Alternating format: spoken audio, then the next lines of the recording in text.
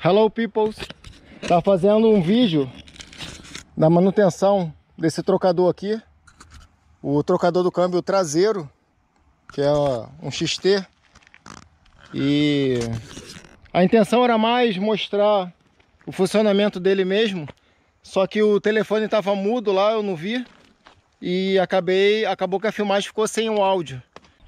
Essa alavanquinha aqui, ó, ela estava indo até o final para fazer a troca da marcha, e quando eu largava ela não voltava. Tá? Então só com a limpeza já voltou ao normal, está funcionando 100%. Então para vocês ficarem atentos nisso aí. Então aí eu estou mostrando né, o trocador aberto, capinha de cima e a capinha de baixo. Eu fiz toda a limpeza usando desengripante. Aí é a parte do martelinho empurrando a catraca pela alavanca, alavanca de cima. Então vocês podem ver ali aqui o martelinho, a maneira que ele empurra a catraca. Tem uma desse lado, né, de uma alavanca, e tem um na parte de cima, que é para a alavanca maior. Como vocês podem ver aí.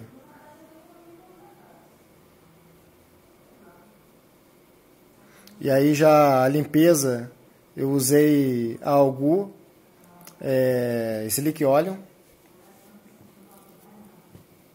que é uma graxa que no, não agride o plástico, né? E ela se transforma numa espécie de óleo também.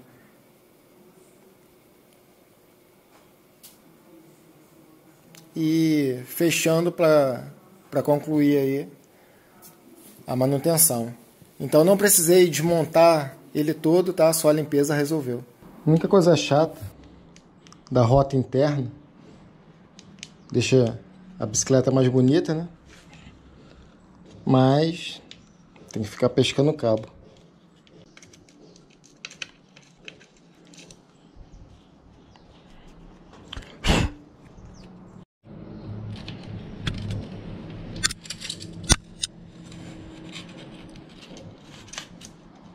Tensionador, fechar ele todo.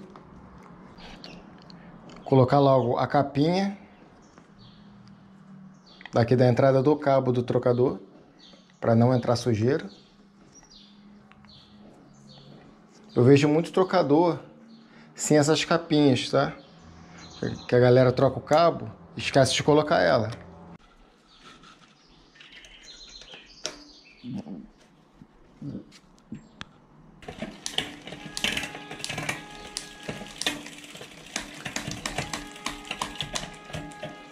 Regulagem de câmbio, tem um vídeo no canal aí que eu vou deixar o card no final desse vídeo. E o free hub dessa roda aqui, Bontrag RL, tá quebrando. Mais uma história de free hub quebrado comigo, né? E quebrando num lugar bem parecido, onde quebrou o free hub CSSI, que é na parte que prende os macaquinhos, depois vou mostrar pra vocês. Então assim, a bike tá girando de boa, só que tô nem podendo fazer força. E até porque o meu tombo, aquele tombo que eu fiquei 20 dias parado, né? Foi por causa da quebra do free hub. Justo na hora que eu fui aplicar força nos pedais, ocorreu a trava da roda e eu tive a queda. Então também nem pensar em arriscar nisso, né? Sprintar então, pedalar em pé, nem pensar. E, mas eu não posso ficar parado porque ainda tem o X-Terra Búzios em dezembro. E que é a última prova do ano. Então não dá para ficar parado.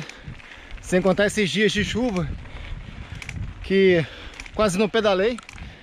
Eu encomendei o cubo Novatec 792. É, nunca usei cubo da Novatec, então se alguém que estiver vendo esse vídeo aí é, tiver experiência com ele, coloca aí nos comentários aí. Ainda tenho que ver a questão dos raios, porque esses raios não vão servir. É trefilado também, mas é cabeça reta. Então não vão servir. E eu quero aproveitar esse aro da Bontrag. Já compraria logo um, um par de rodas novas. Só que as opções são muito poucas e o que tem é tudo caro. Então essa parte de roda para bicicleta aí no mercado brasileiro tá, tá complicado.